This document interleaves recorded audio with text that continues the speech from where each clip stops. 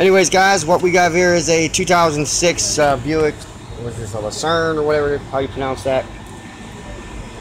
Give you a little walk around of it, give you a little show. Making a video on this to let you know it's got the Cadillac Northstar engine under the hood on this model. It's not the 3.8.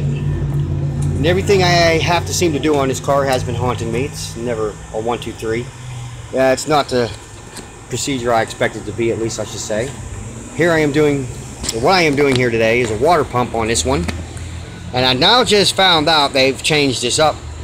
Yes, they did. They changed this up. This is not like the traditional Northstar engine that I'm sure everybody's familiar with where you take the tool, you put it in here, and you, you know, you get your water pump out of there.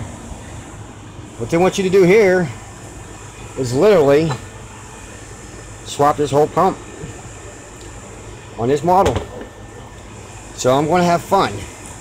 But that's why I'm making this video to let you know is, yep, you're going to have to probably do all this if you got one of these going bad on yours. And you're going to remove this bolt in here. And then there's one down in here. Right there.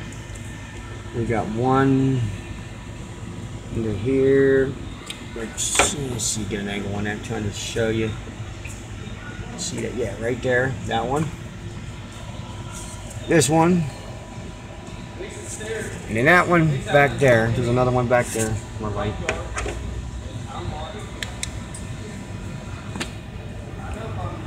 Them two. I think that's it. There might be. I don't know. It looks like it painfully turns down to the bottom somewhere. So I'm sure there's some other nightmare bolt down there in the bottom. I don't know what that curve is about going down. Connects to something probably back there. I'm not sure. Anyways, guys, if you got a water pump going bad on this particular Northstar engine, uh, be prepared to go more than what you're normally used to doing because uh, it's going to be a lot more work. I told this guy a price and now I got to kind of like uh, eat it. I don't know if I'm really going to eat it. I'm going to tell him maybe a little bit more. I'm going to have to have to tell him, look, man, it was not what I expected it to be.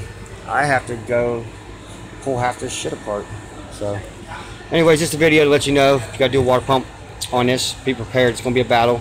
I might have another video after I get this piece off showing you what I all did, what I ought to remove, and you know, maybe I even try. If I could, I'd do a step-by-step -step video if I could, but I ain't got time for all that because I'm really busy. But more so, just making videos for tips on removal. Try to help you out. Might not show you the job, but I might give you a tip to get it off. Either or, please subscribe, comment, and uh, appreciate you. Thanks for watching. Later.